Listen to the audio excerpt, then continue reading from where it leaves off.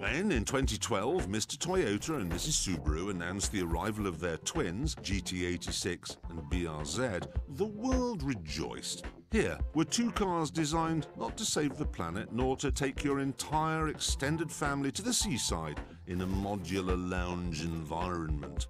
No, they were designed to make you smile. They were small, lightweight, skinny tired, rear drive, and affordable. This was the beginning of a new age for sporty motoring. Only it wasn't. If you looked hard enough, there've always been affordable cars designed to brighten up your day.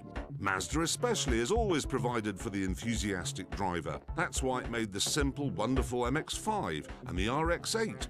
The Honda S2000, meanwhile, is a complete screamer, and it's possible the same applies to the Hyundai Genesis. But I'm not sure, as it's only sold in Korea and the United States.